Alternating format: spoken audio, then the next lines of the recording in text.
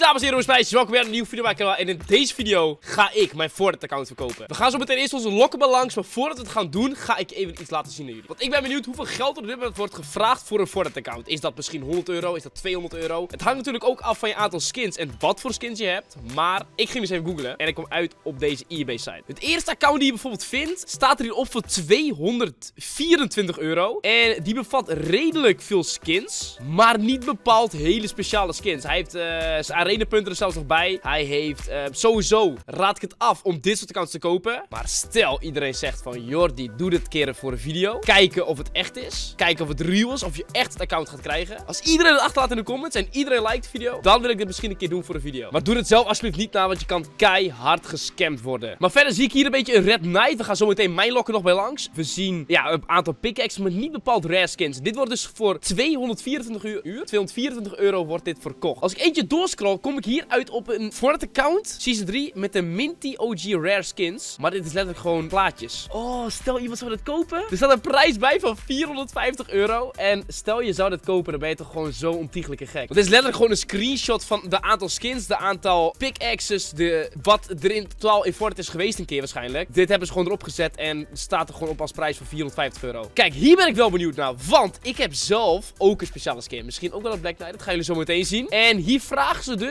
ouw 500 dollar, is dus, hier staat onder, dus ongeveer 322 euro. En deze bevat dus een Black Knight skin. En dat is wel interessant, want de Black Knight skin is dus heel OG en is dus ook dus wel iets waard. Verder, even kijken in de skins, zie ik hier niet zoveel. Kijken of ik hier nog iets tussen zie staan. Ik heb die eerste drie bovenste sowieso ook, weet ik nog wel. En qua pickaxes heeft hij ook niet zoveel te staan. Dit is dus een Black Knight plus 900 plus items. En die vraagt dus 322 euro voor. Voordat ik mijn eigen account ga, ga ik nog naar eentje toe. Dat is deze namelijk. En deze vraagt...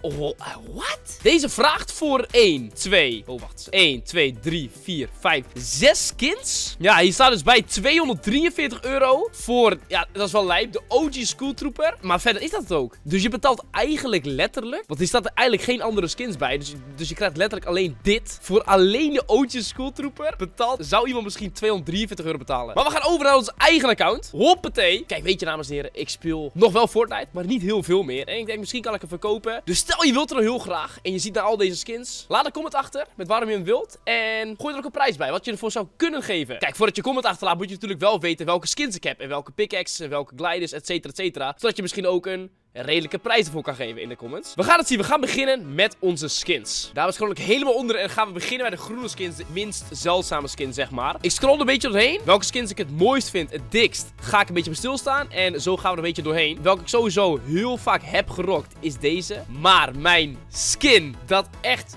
Vroeger was het zelfs de Jordan Storm skin genoemd. Heb ik zelf ook zelfs genoemd. En dat was deze. De Star Spangelucht Ranger was gewoon mijn skin. Ik rockte hem altijd. Hij was zo hard. Hij speelde zo chill. Ik moet gelijk weer terugdenken aan het verleden. Was, dat waren de mooie tijden. Verder scroll ik er een beetje doorheen en kom ik aan bij deze skin. Super veel stels. Super veel. Het valt eigenlijk wel mee. Drie. Maar wel gewoon super chill. Eigenlijk ben ik sowieso een guy die eigenlijk speelt met hele dunne skins. Speelt altijd gewoon het cleanst. Um, ik heb de, deze heb ik met mijn duo maatje ook heel vaak gedragen. Kev, als je het kijkt, shout naar jou. Deze was eigenlijk een soort van skin die ik heel vaak rockte bij de solo cups. Vaak solo cups rock ik gewoon deze. En dan met een pickaxe erbij. Dat golf pickaxe. We, we gaan naar de laatste groene skins. Bijvoorbeeld de Aura. Heeft iedereen wel volgens mij. Meest standaard skin. Maar wel een hele clean skin. Maar we gaan over naar de blauwe skins. Iets zeldzamere skins. Deze vooral super dik, de. Ik heb echt heel veel skins, want we zijn nu nog maar hier, dames en heren. Dus ik heb echt, ik heb echt een hele grote lokken. Dat, dat moeten jullie echt gewoon geloven. En dat gaan jullie ook hier gewoon zien. Uh, verder, oh, ik heb deze, de Recon Expert, ook zoveel gedragen. Net zoals deze voetbalskin. Ik weet nog wel dat het een super grote hype was om deze voetbalskin op dat moment aan te schaffen. En dat was toen gewoon die tijd, oh, dat ging zo hard. Ook met mijn creditcode, code Jordi. Als we hem doorpakken, zien wij verder uh, niet hele speciale skins. Deze vond ik destijds hard om te halen, omdat het gewoon een beetje op de Renegade leek. Maar qua verder, ja, ik heb super veel blauwe skins. Maar qua verder heel erg zieke blauwe skins vallen daadwerkelijk bij mij. Die ik ook heel vaak heb gerokt. Moet je zien hoeveel ik eigenlijk heb. Het is echt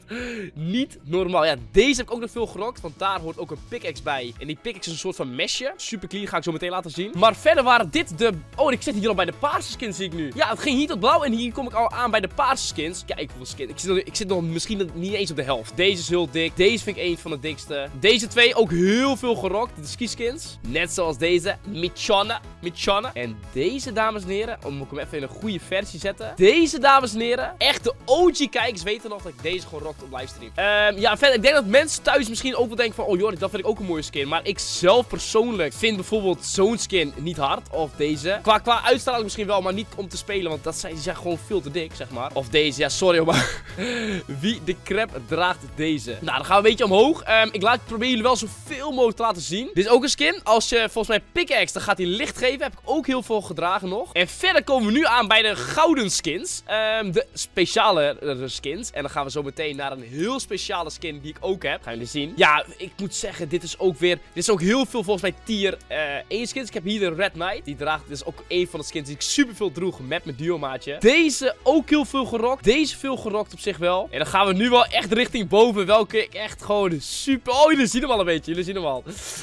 Um, de Galaxy skin was volgens mij nooit te koop. Maar moest je via een bundel kopen. Als ik het goed heb begrepen. Voor mij kon je deze nooit kopen. Ook van dit rijtje. Ja, dit was volgens mij ook een tier 100 skin. Sorry hoor. Maar draagt iemand deze nog? Of heeft deze ooit iemand gedragen? Ik denk het niet. Net zoals deze, net zoals deze, net zoals deze, net zoals de hm, Deze zou ik op zich nog wel dragen, maar deze bijvoorbeeld ook niet. Maar dan gaan we naar mijn meest speciale skin. Die niet veel mensen hebben, maar als je hem hebt, laat weten in de comments. De Black Knight. Hoor dit. Deze is wel dik. Uh, ja, is niet echt, maar dan de Black Knight blijft gewoon een super dikke skin. Ik heb niet heel veel gedragen, maar hoeveel mensen zie je met deze skin rondlopen? Amper. Um, verder heb ik deze ook heel veel gedragen. De, Backsplash. Super, super, super clean skin. En dan komen we aan bij, weet je, bij de rode skins. De Marvel-series. Spider-Man. Hebben volgens mij de meeste wel. Volgens mij zat hij destijds in de Battle Pass. Volgens mij niet. Mij moest je hem destijds kopen in een itemshop. Ah, ook een super lijpe skin hoor. En als we dan naar boven gaan, gaan we naar um, de Icon Series skins. En dan zie ik gelijk al eentje die er een beetje bovenuit springt. Dat is namelijk deze, de Travis Scott. Heel veel mensen vroegen van, joh, wanneer komt hij terug? Ik wil hem ook hebben. Ik wil hem ook gaan kopen. Als hij terugkomt in de shop, ga ik hem kopen. Maar volgens mij destijds is hij nooit meer terugkomen in de shop. Dus is hij nog redelijk speciaal. De Neymar skin hebben we toen ook destijds gekocht. En verder komen we een beetje aan bij de wat random skins. Dus dit was mijn, uh, dit was mijn itemshop qua skins. Ja, het is echt superveel. Um, dan gaan we een beetje naar de backblinks. De backblinks is voor mij altijd een beetje oninteressant. Ik droeg niet heel veel backblinks. Vroeger wel iets meer. Maar welke backblinks een beetje dik zijn, zijn natuurlijk deze. Heel veel gedragen vroeger op een skin. Het staat altijd wel clean. Maar een, qua hele grote backblinks is gewoon voor jullie er een beetje tussendoor. Zodat jullie ook weten wat voor backblinks ik heb. Maar qua backblinks sowieso heb de grote backblinks heb ik nooit gedragen. Deze natuurlijk vooral op de Black Knight. De Black Knight met de Black Knight Shield. Fully OG outfit. Ja, dik. En verder qua Blackblings, um, ehm, ja, dit is van de Travis Scott natuurlijk. Boeide het me op zich niet heel veel altijd. Pickaxes was ik altijd een fan van. Ik moest een chille pickaxe hebben om shield te kunnen hakken. Ik weet nog wel, dit was één van de chillste pickaxe die ik had. Samen met de knuppel. Samen met deze was altijd wel chill. Zoveel pickaxe. Want die kocht ik af en toe wel een item. Omdat ik gewoon, ik weet ik kreeg er een betere vibe van als ik een betere pickaxe had. Daarnaast, niet te vergeten, de Minty Pickaxe. Volgens mij nooit kunnen kopen in de itemshop, maar moest je via een code kunnen regelen. Deze heel veel gebruikt. Deze wel af en toe, deze wel af en toe. Ik denk dat Fortnite het meest heeft gekregen qua geld door deze pickaxe in de itemshop weer terug te brengen. De Run pickaxe natuurlijk. Dan gaan we naar mijn gliders. De gliders is ook weer net zoals mijn backblinks. Is iets wat me nooit interesseerd heeft. Um, of ik nou met deze glider uit de Battle Bus kwam of met deze glider uit de Battle Bus kwam. Het boeide me geen ene zak. Als ik weer uit de Battle Bus kon springen. dus ik scroll er even snel de jelle doorheen voor de mensen die het graag willen weten voor de mensen die graag hun prijs hierop willen baseren op de gliders. Hier alsjeblieft ook heel veel winners gliders. Ja, dit is ook weer een dingetje. De dansjes. Heeft me ook niet heel veel geboeid. Op een aantal dansjes na. Want ik wel echt gewoon lijpe dansjes vond. Zoals de griddy. Maar ik stond hier voor jullie ook even tussendoor. Maar volgens mij, dit is wel een van de dingen dat mensen ook niet heel veel uitmaakt. Maar ontiegelijk groot weer. Huppatee. Kijk eens aan. Hoppatee is ook doorheen gestrold. En als laatste heb ik jullie voor jullie de wraps. Heeft me ook nog weer geïnteresseerd. De enige wat me interesseerde was de skins en de pickaxe. Dus ik scroll voor jullie ook even snel doorheen. Kunnen een beetje de wraps zien die ik heb. En moet jullie ook gewoon zien hoeveel dingen ik nog niet heb geunlocked, zeg maar. Ja, dat is een beetje mijn dus um, ik heb dit moment 1000 V-Bucks nog. Dus lekker gaan gebruiken om een skinnetje te halen in een itemshop die je leuk vindt. En daarnaast wil ik jullie gaan vragen. Dus heb je hier gekeken? Laat vooral weten. Ook al zou je het niet willen kopen. Laat vooral weten. Wat zou jij qua geld mijn Fortnite account geven? En dames en heren. Als laatste. Eerste real life video. Staat online op mijn tweede kanaal. Eerste link in de beschrijving. En dan kan ik nog één zeggen dames en heren. Like, abonneer. En tot de volgende video. Later.